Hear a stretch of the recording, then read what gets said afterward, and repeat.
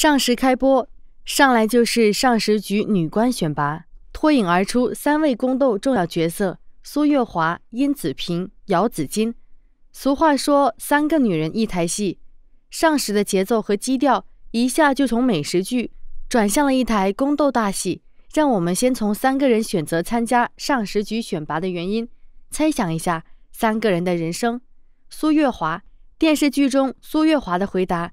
世人皆以诗文绘画为艺术，不错，一幅好画，一首好词，可流传千古。但我认为，民以食为天，食之道乃天之道。技艺高超的炮人，可化庸常为神奇。我入宫，正是为了学习真正的饮馔之道，烹制亘古未见的盛宴，成为天下第一的名厨。此时，姚子金投来佩服的眼光，殷子平却不屑一顾。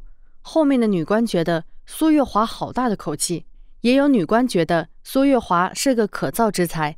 从这个回答很明显看出，苏月华似乎出身很好，也有很多见识，但是太过恃才傲物，骄傲不可一世。如果太执着于自己的骄傲与才华，没有容忍的气度，那么在碰到冲击自己思想和才华的人，就有可能产生巨大的反感，从而发生冲突。从他听到殷子平对他观点的反感时，他敌对和蔑视的眼光就能看出，他似乎并没有容人之量。从这个表情看，他没有想要与对方讨论的想法，而是一味的不认同。从后面片花介绍来看，苏月华与女主似乎冲突也很大，想必女主的才华和际遇是他不能忍受的，也是冲突的起点。殷子平，电视剧中殷子平的回答：“我是市井出身。”只知饥荒之年，一碗米汤便可救人一命。当今天子更是崇尚简朴，体恤民生。所谓至善，便是用最廉价的食材烹制出足以饱腹的美味。那些所谓客，自保是第一个选择。不过，他希望通过廉价的食材烹饪出饱腹的美味，可见骨子里还是一个懂得感恩、心存善念之人。想必后面在与其他人发生摩擦时，应该是只顾自己。不顾他人的，但是从经历来看，应该是受过苦难之人，不知道会不会慢慢学会体谅和接受自己思想不一样的东西，从而提升自己对于食物的认知。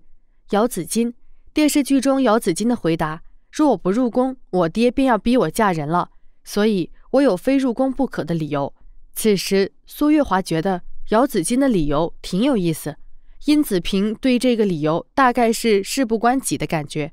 姚子金进宫的理由看起来是比较随意的，没有对美食的热爱，没有对民间疾苦的了解，也没有远大的志向和理想。可就是这类无欲无求的人，比较容易用来塑造主角的成长历程，可以从没有理想志向，到慢慢了解到成为一个栋梁之才。同时，无欲无求却能做到被选拔出来，也从侧面说明了女主的聪慧过人之处。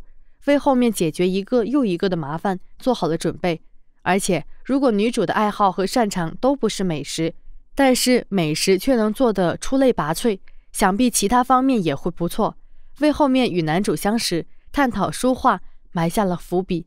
想必这类知足常乐、面对局面傻白甜的角色，也大多比较受男主青睐。